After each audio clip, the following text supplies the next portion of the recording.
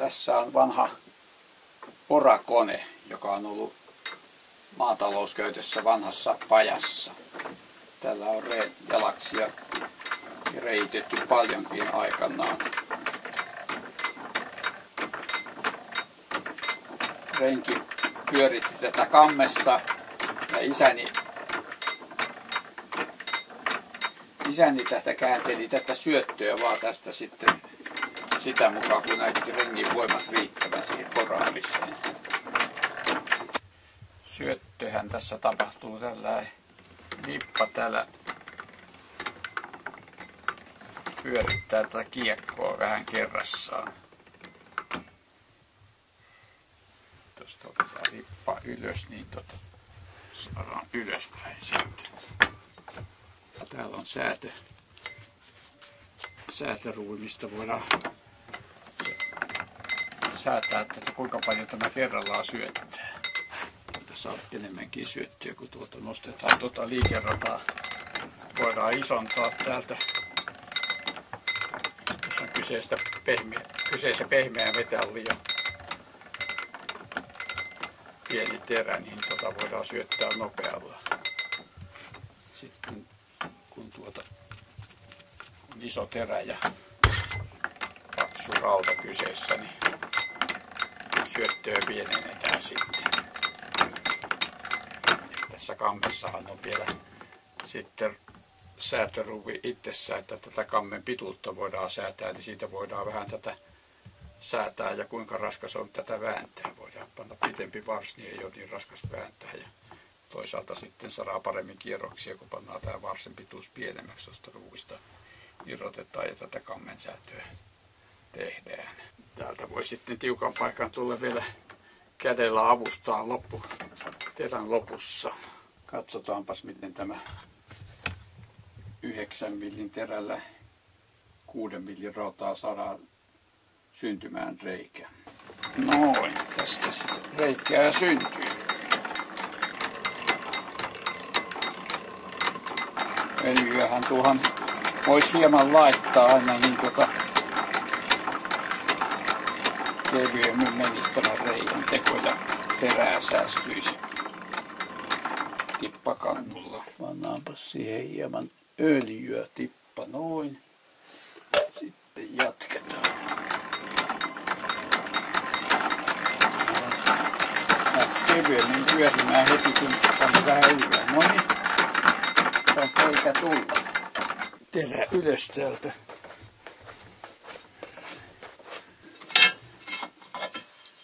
Yhdeksän millin reikä, kuuden millin lattaa. Tässähän on tämä karakiinnitys, mihin käy kyllä isommatkin porrat, että tästä kiilalla napautetaan tämä kara irti ja vaihdetaan isompi terä sitten tarvittaessa tähän porakoneeseen. Metallimiehethän nämä hommat tietää paremmin. Tässä olisi tällaista vanhempaa porauskalustoa kokeiltavana, miten näillä reikkiä syntyy.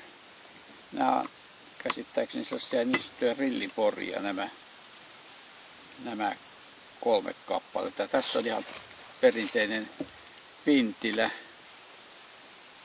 sanotaanko sitä näveriksi ja, ja miten sillä kansankielen nimityksiä mahtanee olla tällä.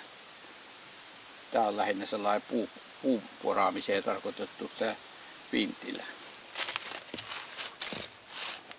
Otetaanpas tämä grillipora ensimmäistä käsittelyä. Tässä näyttää tämä terä jonkin verran vipottavan. Tämä kara ei näköjään oikein suora ole. Saadaanko reikä?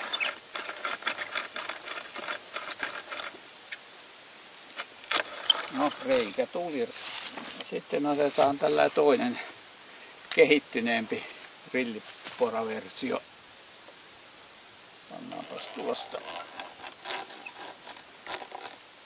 Tässä on nyt kyseessä isompi vaihe, kun tässä on kaksi, kaksi vaihdetta. Tämä onkin vähän jäykkä. Jäykkä näköjään. 10 millin terä tässä ja reikä tuli silläkin. Tässähän on kaksi vaihdetta tässä porassa. Tässä on erikoisuutena se, täältä saa säädettyä tämän vaihteen pienemmälle ja se oli isommalla. Otetaan tämä täältä pois. Työnnetään tänne toiseen reikään. Lukitaan tuosta tämä akseli. Akseli tuolla. Noin. Täällä on kaksi hammaskehää. Ulompi kehä ja sisempi kehä. Nyt on pienempi vaihde päällä. Katsotaan, meneekö se nyt mukavammin tämä terä sitten. Oho.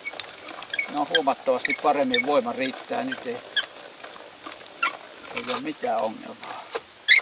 Reikä tulee jo. Reikä tulee oikein hyvin nyt tällä pienemmällä vaihteella.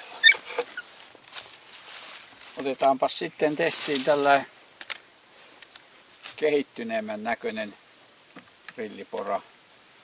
Tässä on ja kaksi vaihdetta. Katsotaan miten tällä reikä syntyy. Tässä on pienempi vaihde kyseessä. Se meni hyvin. Hyvin tällä, tällä pienemmällä vaihteella. Katsotaan.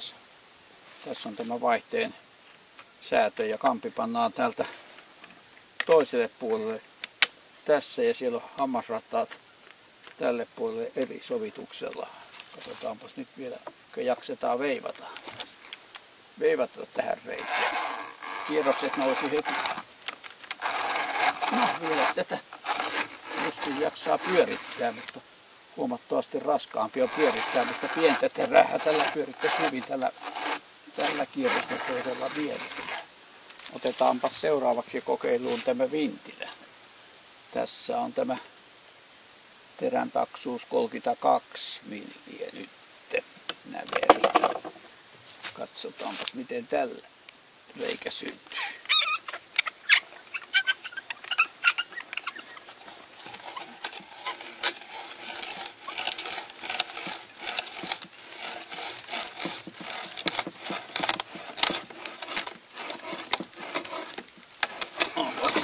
pukki pysyä paikalla. Kyllä, siihen 32 milliä reikä syntyi. Tässä Vintilässähän on lisäominaisuutena tämä räikkätoiminto, että jos joutuu seinä, seinän vieressä poraamaan eikä pysty kier, kiertämään tuota kahvasta, niin tuota, tästä voi vaikka puol neljänneskierroksen kerrallaan pyörittää, niin saa tuota ahtaaspaikasta tehtyä reijän. hitaampaa tämä tietysti on, mutta reijän saa kuitenkin sitten hankalassa paikassakin tehtyä. Noin. Eiköhän siihen syntyy.